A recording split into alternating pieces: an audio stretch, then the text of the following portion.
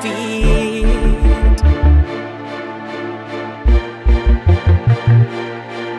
You have every failure, cause you have every victory.